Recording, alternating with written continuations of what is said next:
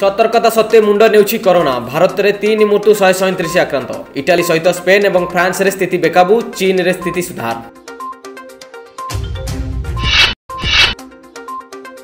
corona ଆକ୍ରାନ୍ତ ସନ୍ଦେହରେ ରାଜ୍ୟରେ ବତିଶ ଜଣଙ୍କ ସାମ୍ପୁଲ ଟେଷ୍ଟ ଏକତିରିଶ ନେଗେଟିଭ୍ ଜଣେ ଆକ୍ରାନ୍ତଙ୍କ କ୍ୟାପିଟାଲରେ ଚାଲିଛି ଚିକିତ୍ସା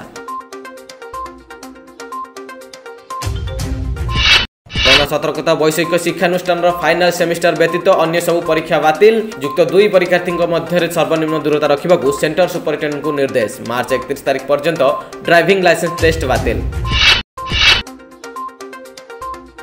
আজিঠু আরম্ভ হচ্ছে মেট্রিক খাতা মূল্যায়ন প্রক্রিয়া একষট্টি কেন্দ্রের ষোল হাজার শিক্ষক শিক্ষয়িত্রী মূল্যায়ন প্রক্রিয়ায় সামিল এপটে করোনা সতর্কতা অবলম্বন